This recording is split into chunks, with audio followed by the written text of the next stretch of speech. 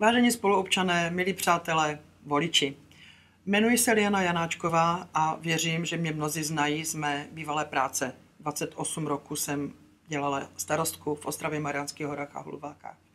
Byla to krásná práce, měla jsem tu dobu velmi ráda, protože jsem přicházela do styku s vámi, pomáhala vám řešit vaše problémy a určitě mnozí mě znáte, že problémy jsem vyřešit dokázala. Chci se vrátit do vedení radnice z toho důvodu, že se mi nelíbí současná situace. Současné vedení má mezi sebou lidi, kteří jsou obviněni, obžalováni a špiní dobré jméno Mariánských hor. Hrozně mi to vadí, protože já náš obvod miluji. Miluji lidi, kteří tady jsou a strašně mi na tom záleží. Vím, že mnozí z vás vědí, že jsem pracovala ve prospěch našich lidí, že se strašná spousta věcí podařila namátkou opravě všech škol, školek, regenerace sídlišť, opravě cest, bytového fondu a tak dál.